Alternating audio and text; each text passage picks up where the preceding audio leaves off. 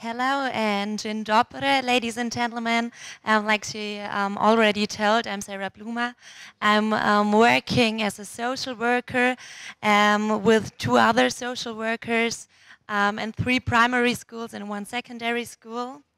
This is my first lecture in English, so please don't be mad if I say something wrong. In my opinion, systemic conflict management is a good way to deal with cyberbullying.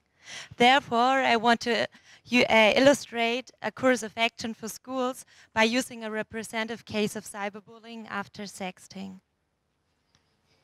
If you have got any questions, please feel free to approach me after my talk or later that day.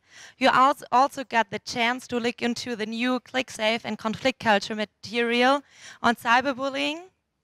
It's like, just like that one. Um, and everything is um, explained there in detail. At first, I want to explain the word sexting. As you can read, sexting means communication about sexual topics via mobile messaging, especially by sending photos or videos containing explicit content. I think a lot of teachers, social workers, or other pedagogues that works in schools are familiar with cases of cyberbullying like this one. Maybe some of you already had one in school. Um, could you please put your hand up uh, when you say we already had a case of cyberbullying in our school? Okay, yeah. Um, a girl, age 13, let's name her Amy, comes to our office in school. She looks sad and desperate, and she tells us that she was in love with that guy named Ben. She had never been so in love and therefore she filmed herself naked as her boyfriend asked her to. She then sent him the video, although she didn't have a good feeling about the whole thing. But she really don't want to lose him. She's ashamed of having sent the video to Ben.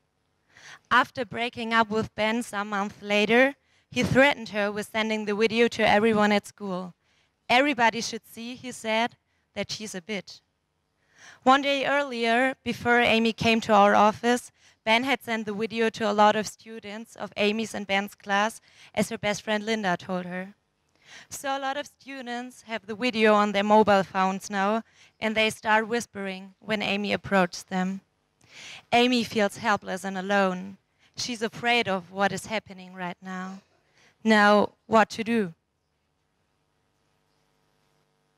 The responsible persons at school got the chance to build frame conditions that support quick and qualitative actions against cyberbullying. So the first step is to build a systemic conflict management team that develops procedural methods and ways that are obligatory for everyone at school. Conflict manager at our school is our social worker team, so we're doing conflict management nearly every day. And I can tell you there are a lot of cases like that. The conflict manager is responsible for coordinating the conflict handling process, providing advice to the team, organizing team meetings, and conducting the intervention. It's also very important to find the right way for saving data like videos, pictures, or messages by considering the law. So in a conflict management team, you got on one hand the head teacher and the class teacher. You got the pedagogues, for example, social workers and other pedagogues. And you also have got the conflict manager. Conflict manager might be the class teacher, the social worker, or other pedagogues.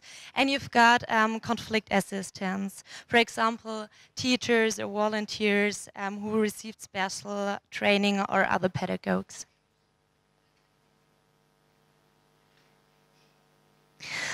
When you look at the picture, um, you see that there are two intrapersonal conflicts. There was one intrapersonal conflict in Amy because she was sending the pictures and she's got a big problem now. And there is an intrapersonal conflict in Ben because she wants um, the video um, from Amy and she's behaving like that. You also get an interpersonal conflict between Amy and Ben because, um, yeah, they've got the conflict. You also got an institutional conflict between Ben and the head teacher and the class teacher because um, Ben breaks the rules of the school. There is also a systemic conflict between um, Ben and Amy's class because they're behaving against um, the norms and values.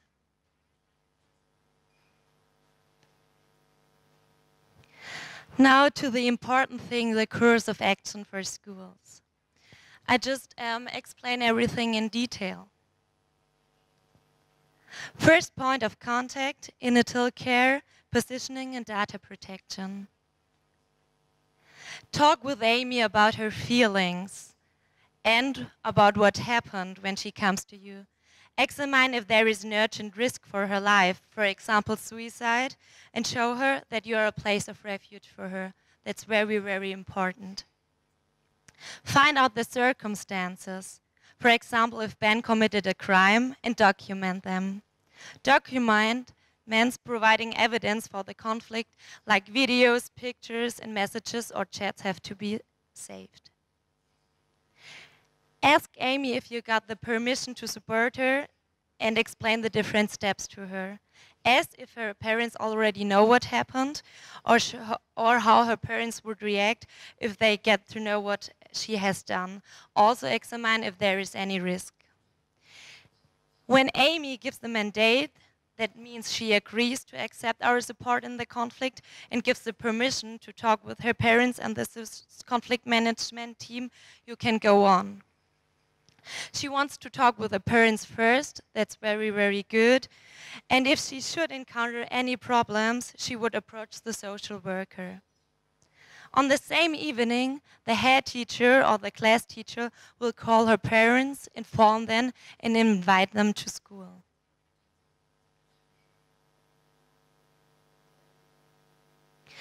The next step is team building, conflict diagnostics, and development of action plan. After informing and talking with the head teacher the day before, it's important to organize a conflict management team meeting at the next morning. Inform the team about the case and the circumstances, do a prelim preliminary assessment of the case, and clarify the different roles and assignments with the team. There are a lot of different roles. For example, advisor, conflict assistant, conflict manager, or modulator develop and organize the action plan.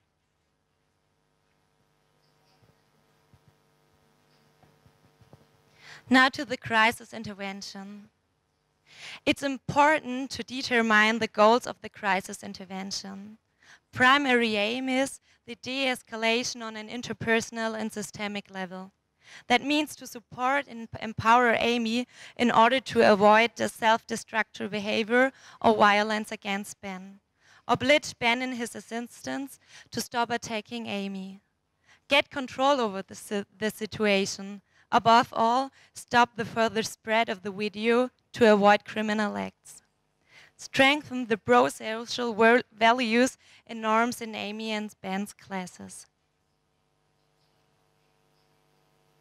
The class, like every classes in the case like that, got the excuse we are allowed to behave like that, to gossip about Amy, because she's a bitch and it's her own fault, because she was sending the video. So it's very, very important to confront the classes with their excuses. Clarify open questions by doing interviews with observers and do confrontational interviews for example, with Ben. That means the head teacher speaks with Ben and does the, does the accusation. Then the conflict manager helps Ben to write down his point of view. Inform and counsel Amy's parents. Inform the other members at the systemic conflict management team meeting so that they know how the things go on.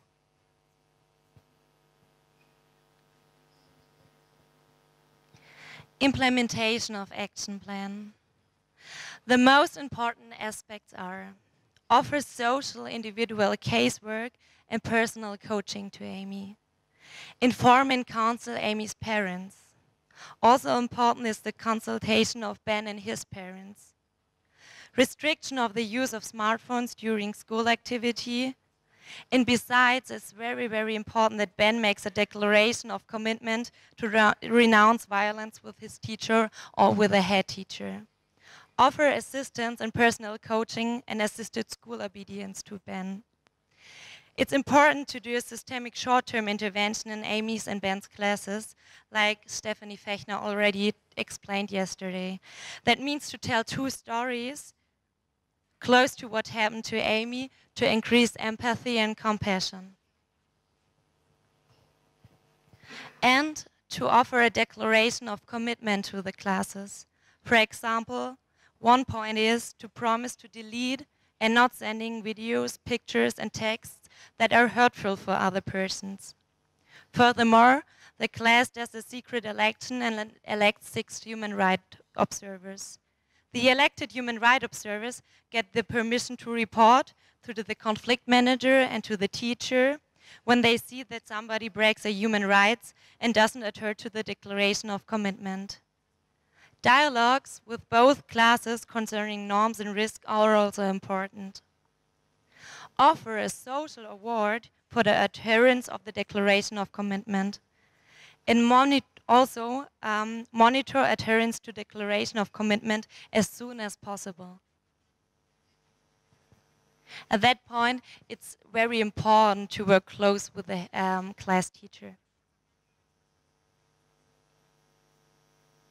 Now to the conflict resolution. Speak with the elected human rights observers and monitor adherence to the declaration of commitment in class at the beginning weekly.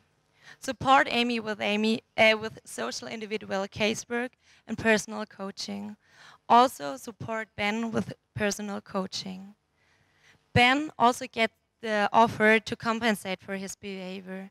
That means he writes down with the help of the social worker two letters in which he apologizes for his behavior and reads one of them with the support of the social worker and to Amy in front of her class and the other one to his teacher in front of his class. Furthermore, he does community service in school. For example, he works with the caretaker of the school.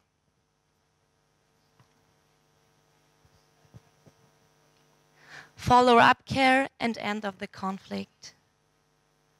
Speak with the elected human rights observers and monitor, like you already heard, adherence to the declarations. You also could invite the prevention team of the police. And now that's a point that's very, very, very important. Give appreciation to Ben and the classes if they adhere to their declarations. Develop code of behavior for social networks with the classes and inform the conflict management team about the follow-up care. And keep in contact with Amy for the rest of the school year. At the end, I've got a quote um, from Amy. She said, You told me that we would manage this together. You've gone with me through it all. It made me strong. Thank you. And with the words of Amy, I want to encourage each one of you because we have got a good impact of uh, for children and for teenagers. So you do a good job and go on with it. Thank you.